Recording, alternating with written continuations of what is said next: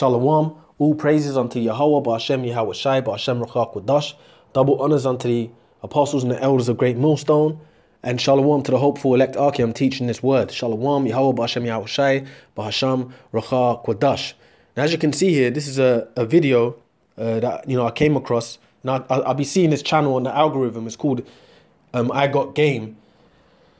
And I'm assuming it's a Jake man that uploads these videos, right? But basically, he uploads this um, series and it's called Indian Women Belong to Black Men. And it's basically showing a group of East Indian women, just like random videos the guy comes across or couples. And it's a lot of so called black men in America are getting these East Indian women. And it's causing quite a stir because I've seen, you know, it's causing a stir even among the Elamites because I checked something out and the Elamite men are getting upset. So these heathen men, you know, because they don't like it when in, especially when a black man gets with their women. They don't like that. So, but it's a it's a shift happening in the world. Basically, you know, the so-called black man, you know, is is really he's he's he's desired. He's always been desired, but now it's just being more blatant now. So these heathen women are getting with the Israelite man, and you know, you know, it's in the scriptures that they belong to us anyway. So it's our God-given right you know, to, to, to take them. That's that includes the women of all the nations, so-called white women, Arab women, Chinese women, they uh, Japanese women, Korean women. They belong to the so-called black man anyway. These heathens were made for us. You see, it's just they've been oppressing us because we've been at the bottom. You know, they've um, had us at the bottom. But there's a shift happening, and you're seeing it now with all these East Indian women and heathen women generally are seeking so-called black men. All right, in particular the the so-called African American man. And that's what's taking place, the tribe of Judah, Benjamin, Levi. So let me play this clip here. And uh, there's a clip, clip it. You know, it's a Jake walking. I think he's in, I think he was in India with his woman. And the men were basically hating on him. So he was, you know, kind of going into it. So I'm gonna play this here. And then, and you know what, whenever you see, when you check this channel and these video clips come up, the black men are look happy, man. And the, which are the tribe of Judah. And the East Indian women that they're with, they look happy, man. They're happy. So hey, it's the spirit of the Lord, man. There's there's a shift happening. But I'm walking past a bunch of Indian dudes as well, bro. Groups of Indian dudes. And they staring me down, bro, like with some dirty look. It's known Indian dudes don't fuck with blacks. But they usually stay away. But Shorty I was with, everybody could tell she's on my body heavy. But she looked Indian. That's the thing. She looked Indian. It was bad. So hella Indian dudes are staring my bitch in the face.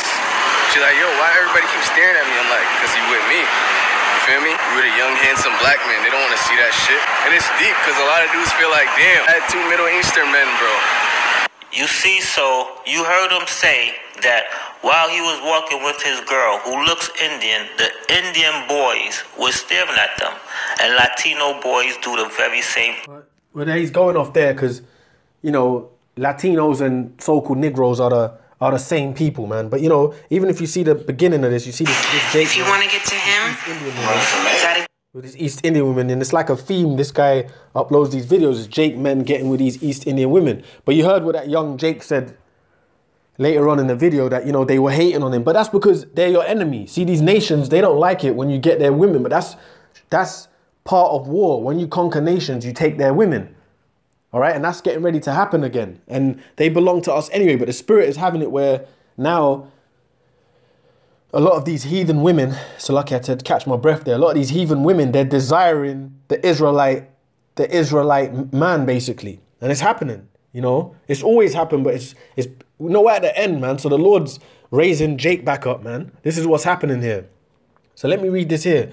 This is Psalms 2 from the top. It says, Why do the heathen rage and the people imagine a vain thing? Who's the heathens? The heathens is any nation outside of Israel. Who are the Israelites? You Negroes, Latinos, Native Americans. We're the chosen people, man. All right, and the heathens are who? The Chinese, the Japanese, the East Indians, the so called Arabs, the so called white man, and they all have their biblical identities Moab, Ammon, Esau, you know, Ishmael, the um, Ham, you know. So these are the other nations, the heathens. And it's the scripture says, Why do the heathen rage and the people imagine a vain thing? And what's the vain thing that they imagine? And what's the rage? The vain things that they imagine is that they're gonna have us at the bottom forever. That's a vain imagination. But they actually believe that. They actually think we're just and they, you know, they're gonna keep us at the bottom, you know, under these proverbs and bywords forever. No, that's the vain thing. Their vain thing is that they think we're going to be at the bottom forever.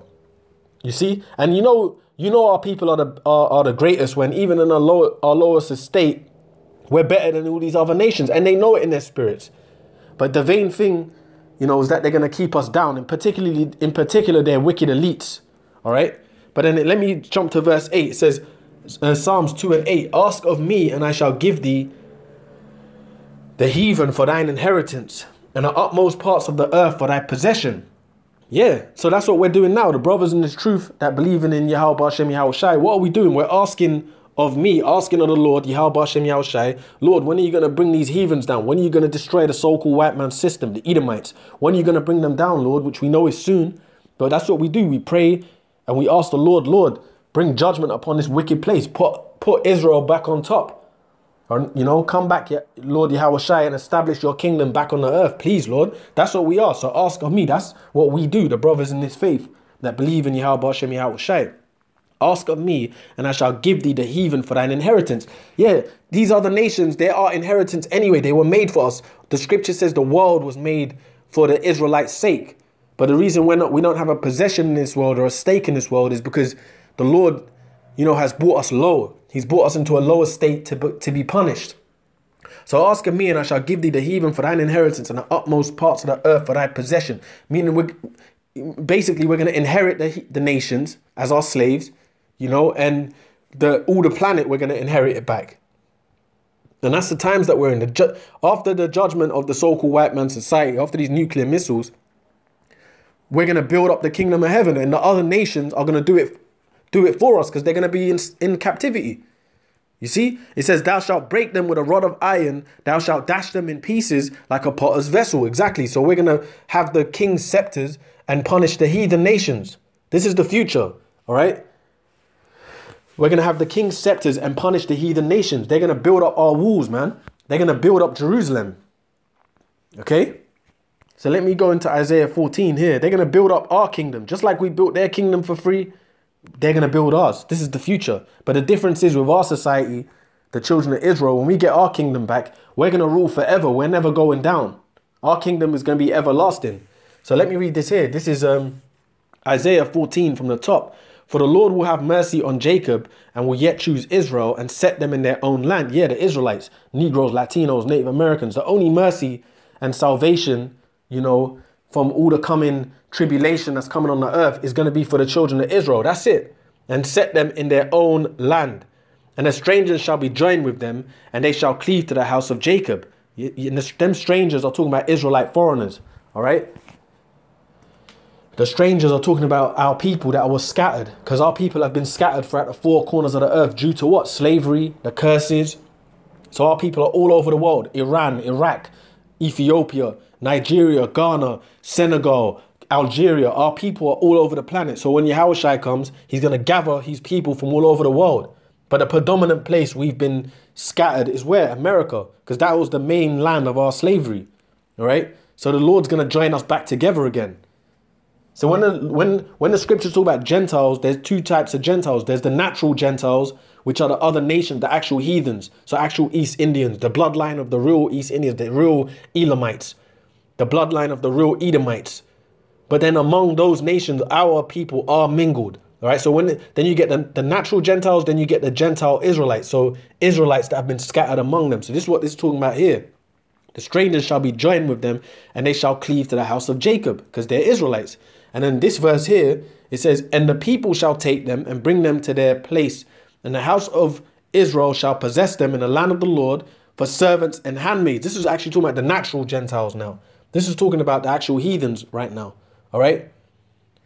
We're going to bring them. So these are the nations, they're going to be bought in chains, you know, to build up our walls, man. And the, the people shall take them and bring them to their place, and the house of Israel shall possess them, possess them, okay? Meaning own them, the heathens, in the land of the Lord for servants and handmaids. So we're going to make their men servants and their women, you know, and, and handmaids, and their women are going to be our handmaids and also our concubines.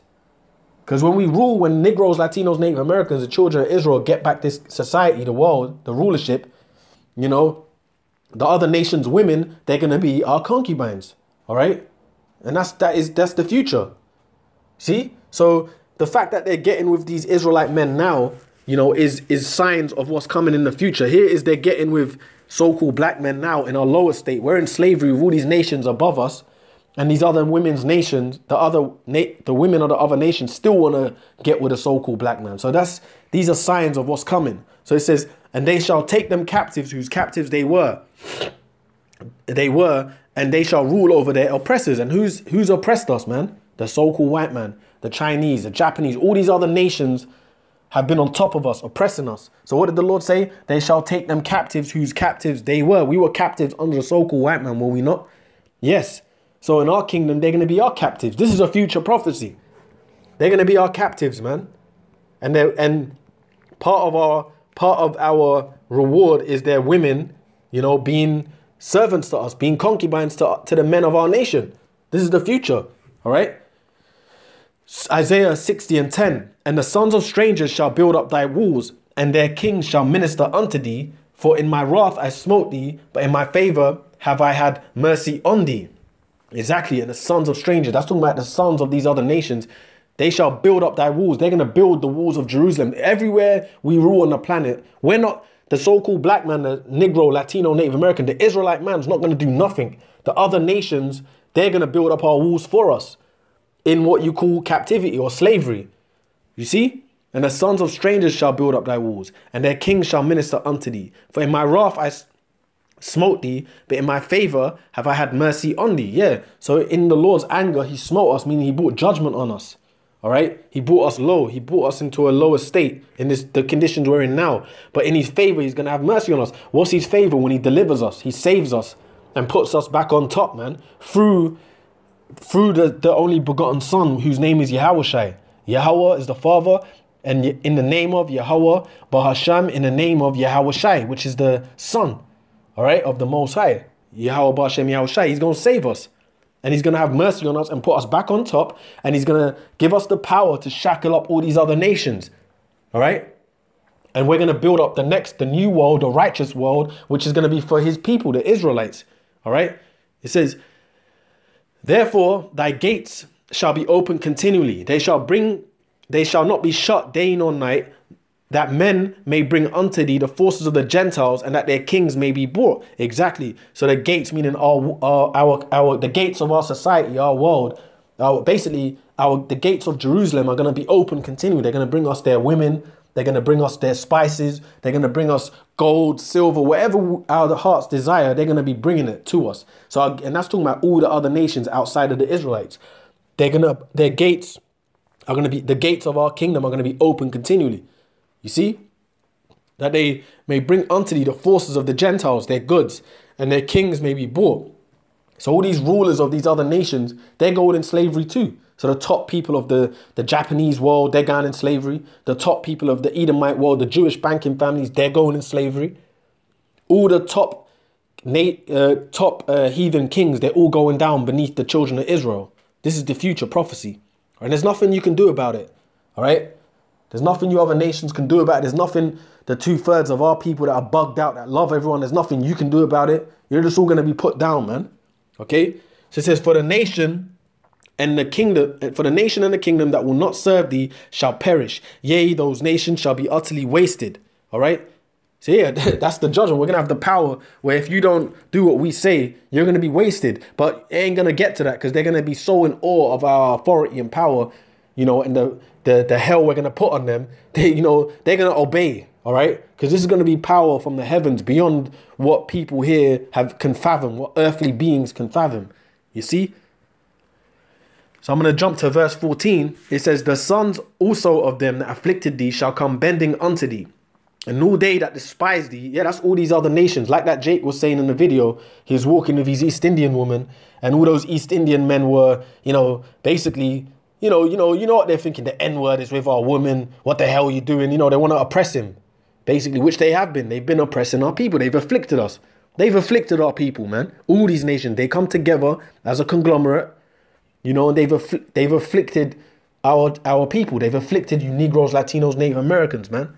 So the sons of them, these other nations, all right, all right, The sons also of them that afflicted thee shall come bending unto thee, and all they that despise thee shall bow themselves down at the soles of thy feet. The Lord's gonna make them bow, man.